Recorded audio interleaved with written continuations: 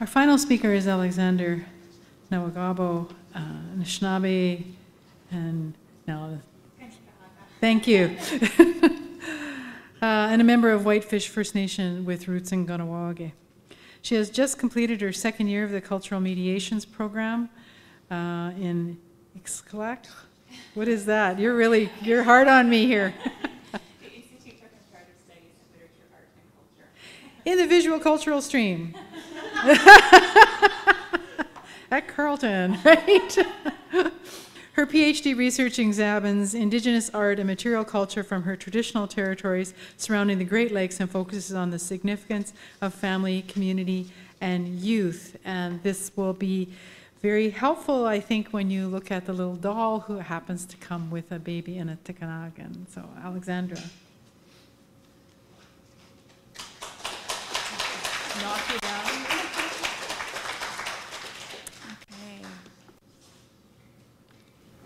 Thank you very much. Um, and I just also wanted to thank the conference organizers for organizing this uh, CWAHI. I'm very excited to be here and I'm looking forward to the next few days. So, Anish Ejibamadzian, this old Anishinaabe greeting, which is commonly understood as an interpretation of the quick and everyday, hey, how's it going, is actually translated to mean, how are you living or how is your life? It's a question, my Anishinaabemowin teacher, Jeff Monet, jokingly says, that you better make sure you have time for before you ask, because you could be listening for a while. Indeed, in the Anishinaabe worldview, the concept of life and living, or more specifically, Minabamadzawin, living the good life, is a complex one, and is viewed as a composite understanding of holistic health and wellness, including physical, emotional, mental, and spiritual states of being. This notion of life is often conceived as being circular and oriented to the four cardinal directions. And given that the symbol of a circle concentrates the totality of everything that is from the four directions to which it points, it reiterates the importance of wholeness.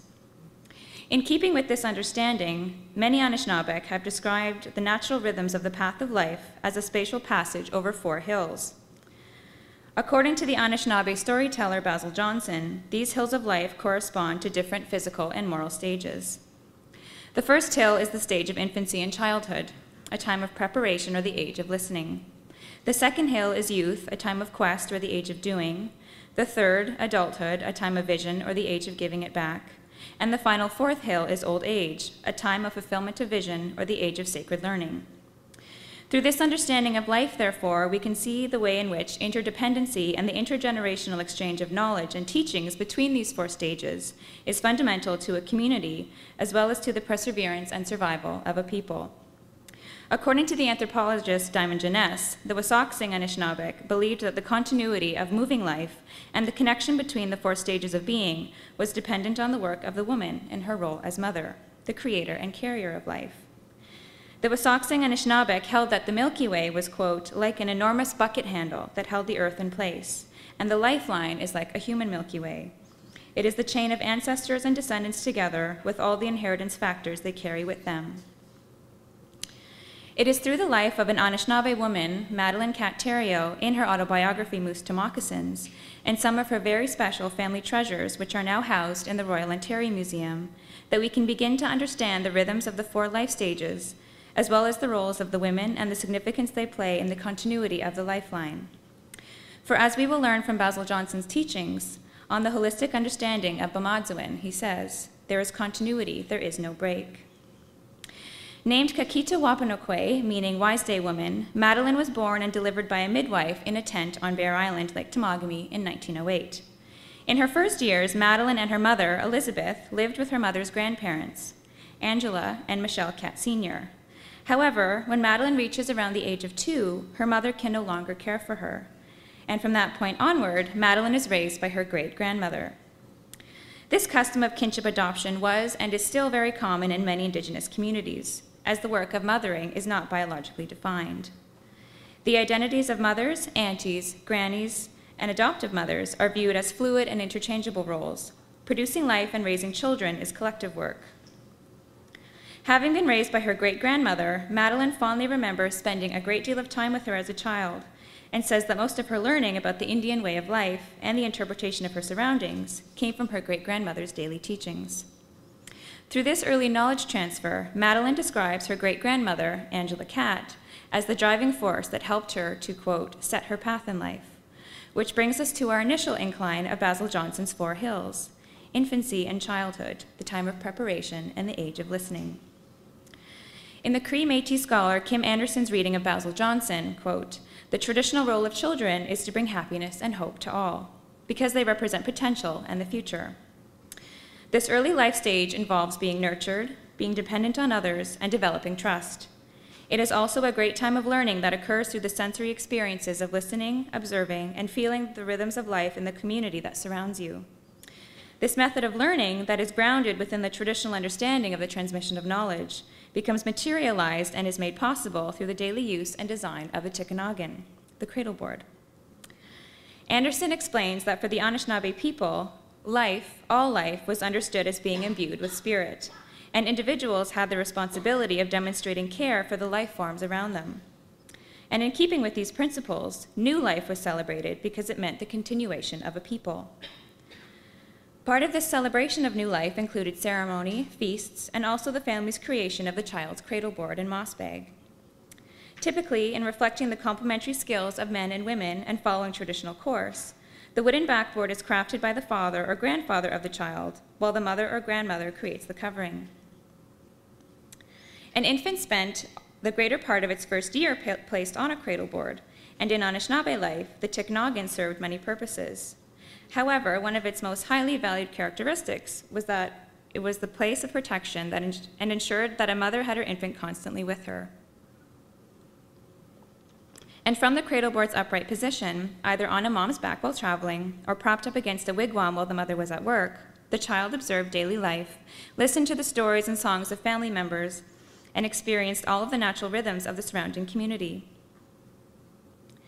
According to Cath Oberholzer, who has done work on the connections between the use of cradle boards and child development within Cree communities, it is when an infant is snugly laced within a cradle board that they develop an awareness of self and a sense of belonging to a people. In Mushum Danny Musqua's understanding, as outlined in Kim Anderson's work, this sense of self or sense of purpose and a sense of community is actually something that is learned from the womb. It therefore seems fitting that Cath Oberholzer, who has so eloquently described Tiknogans as a womb with a view, sees the cradle board as a further extension of the feeling of warmth and security that one has while still in utero. In this first stage of life, developing trust and feelings of safety and belonging are paramount, as the time of infancy can sometimes be very precarious, and the soul of a child can easily slip back into the spirit world.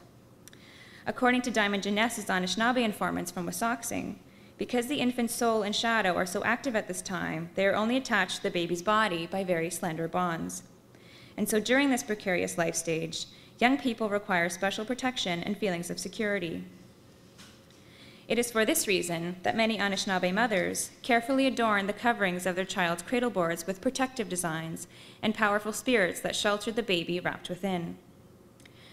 In the quilled cradleboard ornament to the left, hourglass shapes act as abstracted motifs of the manitous of the sky world, the thunderbirds seen in the bag on the top right and interlock with diamond shapes, a form that some scholars believe could represent a stylized representation of, a powerful, of the powerful water manitou, Mishibiju, the underwater panther, seen in the bag on the bottom right. According to David Penney's reading of this arrangement, the positive negative diamond and hourglass pattern could possibly indicate an abstracted representation of the layered cosmos and a balancing of the dualities of sky of the sky and lower worlds. Scholars have previously mentioned how frequently designs related to manitous often, appear, often seem to appear on containers. According to Ruth Phillips, when these kinds of protective motifs are applied to a container, such as the twined bag shown here, it is possible that the contents themselves would have rendered the power that was retained within the designs that surrounded them. This understanding leads us to believe today that many containers that are ornamented with these protective motifs may have been originally used to hold medicines or other sacred items. If we think about the cradle board, if we think about cradle boards as vessels or containers that held babies, it seems fitting that they would also be ornamented with these same kinds of powerful and protective designs that were used to bless our medicines.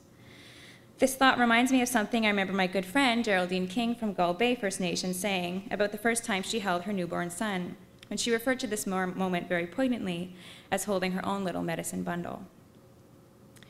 According to my auntie, wrapping a baby up tightly in a moss bag is a way of letting the child know that they are safe, that they belong here.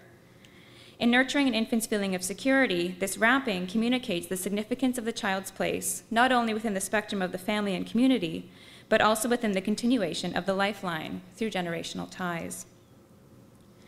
In Madeline Katt autobiography, we witness her journey through the various life stages.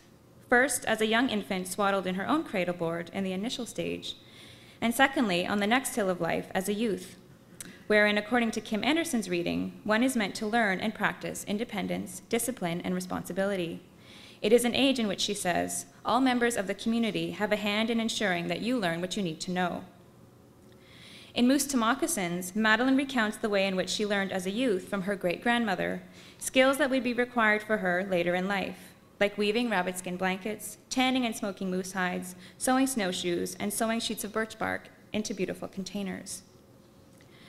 It is through these kinds of teachings and the transmission of knowledge that Madeline received from her great grandmother in her first two stages of life that prepared her for the third hill of adulthood, wherein Madeline begins to take on her own role as a mother, teacher, nurturer, and carrier of her own children.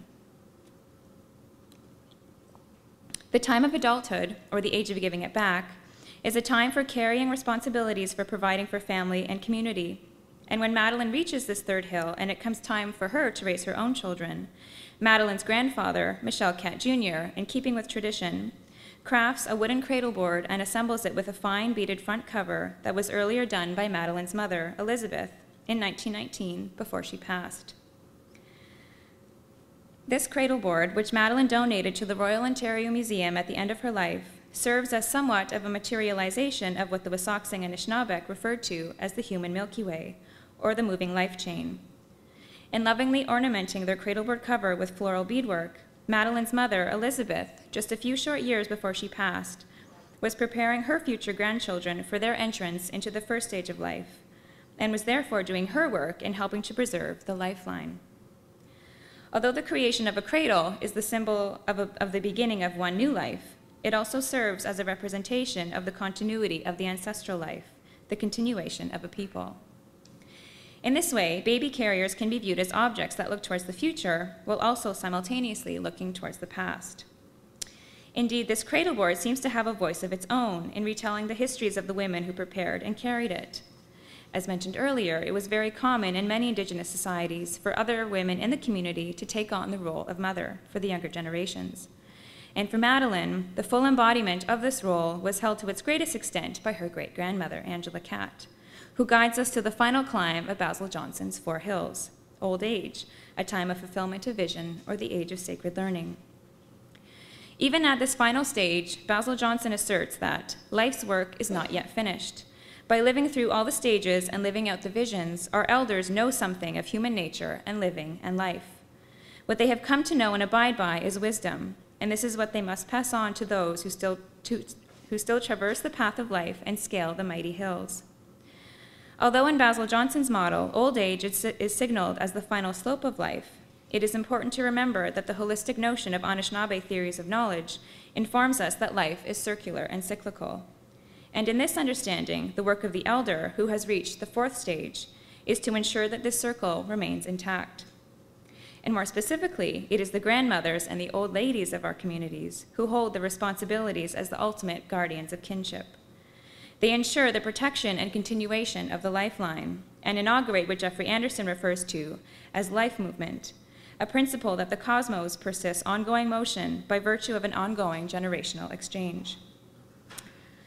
The cradleboard of Madeline Katt Theriault can be viewed as somewhat of a manifestation of this concept, in that through its creation it was passed from mother, Elizabeth, to daughter, Madeline, However, the intergenerational exchange, or life movement, that is found within this cradle board, in fact, seems to extend through at least four generations within Madeline's family.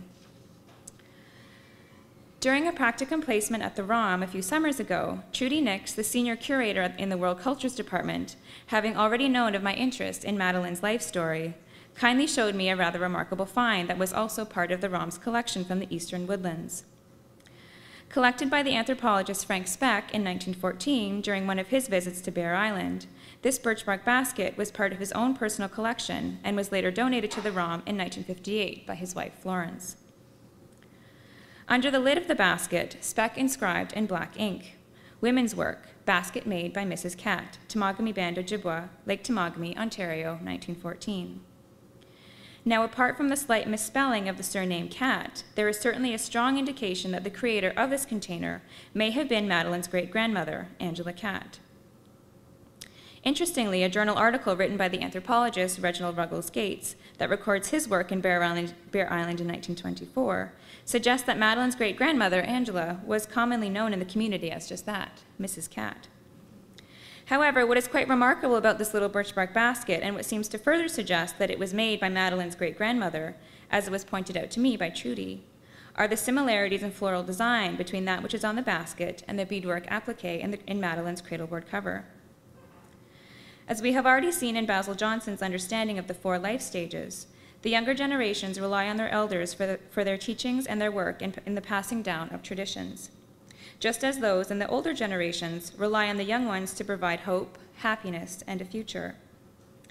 This deeply entwined intergenerational exchange can be seen in the floral design of Angela Katt in her birch bark basket, which is later echoed in the applied beadwork of her granddaughter Elizabeth, who ornamented the cradleboard cover of her own future grandchildren, the children of her daughter, Madeline. According to David Penney, the sharing of designs and patterns among Anishinaabe women was quite common. Just as skills of survival, like skinning moose hides and making moccasins, were passed down between generations of mothers, aunties, and daughters, so too were the traced paper templates that were used to ornament beautifully handcrafted things. These two objects are family members. Separated for many years and acquired by the museum at different times, they have become reunited and are currently on view together in the Royal Ontario Museum. I imagine their excitement in seeing, in seeing familiar faces in each other perhaps visiting, and once again, sharing family stories. Expanding the scope of self-portraiture to include such handcrafted objects as these allows us to engage in an enriching practice that Lee Maracle calls storying up. She writes, This is how oratory is born. Oratory is a painting. It is about the freedom between beings and about cherishing the distance between them. It is about relationship, and as such, it is about life. Oratory is a human story in relation to the story of other beings. Indeed, at the very heart of ourselves are our relationships with others and the cherished and entangled stories of our families and extended families across generations. Indeed, in looking at the Madeline Katt Thériault cradle board, we have come full circle. From the fourth hill of life, there is Angela Katt, who, in keeping with tradition, would have provided her granddaughter, Elizabeth, with knowledge and teachings that appear to come to life in floral form in Elizabeth's beadwork. Elizabeth, as a mother, rests on the third hill and helps to prepare her daughter, Madeline, a youth at the time in the second life stage, for parenthood by creating a cradleboard cover for her future grandchildren, the little ones who were then later carried by Madeline as they began their steady climb on the first hill of life. This very special object, in addition to providing a warm and protective place for Madeline's babies to sleep, learn, and feel secure, speaks of an entire history of women and is a direct physical representation of the lifeline and what Jeffrey Anderson calls moving life. In Madeline's written life story and through the account as told through her cradleboard, excuse me, it is Angela Katt, Madeline's great grandmother, who takes on the traditional role of the ultimate guardian of kinship in providing to the women of the younger generations, who in turn learn to care and teach the following generation. Angela Katt ensures that the cycle of life, and therefore the continuation of her people, perseveres. Likewise, Tom Hill and Richard Hill Sr. maintain that children are the reasons we seek information, share it, and pass it on. They are the focus of the transfer of knowledge from the elders, completing the cycle of life's journey. Additionally, many Anishinaabe women comment on the great amount of safety they remember feeling with their grandmother. As one of Kim Anderson's participants, Hillary Harper, says, I don't know where it all stems from, but grandmothers were always the protectors of children. And another, Maria Campbell, recalls the way in which her grandmother's bed was always the closest to the door, while the children slept the furthest. This ensured, she says, that grandma knew who was coming and going. Thus, it seems fitting that through her beaded floral design, with her presence warmly wrapped, With her presence warmly wrapped around the future generations, the great grandmother, Angela Katt, as the ultimate guardian, soothes and ensures the safety of the babies held inside. What we see in Madeline's cradleboard is both the importance of looking towards the future, but also the necessity in returning to our past, which harks back to the familiar adage you have to know where you are coming from in order to know where you are going. Indeed, the connectedness that we feel to those who have come before us and the hope we have for those to come after us is the lifeline in its most truest form. Life movement occurs through knowledge transfer. Culture and ancestral lifelines, as understood by Tom Hill and Richard Hill Sr., are not preserved in books, films, or even in museums. They are preserved when Native children learn the traditions of their people and express them in new ways. And just as Madeline has taught us as the readers of her life story, so did her great grandmother, Angela Katt, also teach her granddaughter, Elizabeth, the importance of remembering traditions and passing them on. For us, Angela's lesson lives on through her great granddaughter's story, and also through her revived floral design, about which Basil Johnston's words shall serve as an appropriate closing. Though former modes can no longer be exercised, they live on in memory. By their very sweetness and worth, they call out for living on. They deserve to be repeated in life again and again. What is good needs to be regenerated many times over. But to resurrect the past in forms already done is to negate survival. The same flower does not live, die to live again. It lives, dies, and is no more. But after death and passing, it leaves a memory of loveliness and a promise of renewal of that beauty in another spring. Thank you.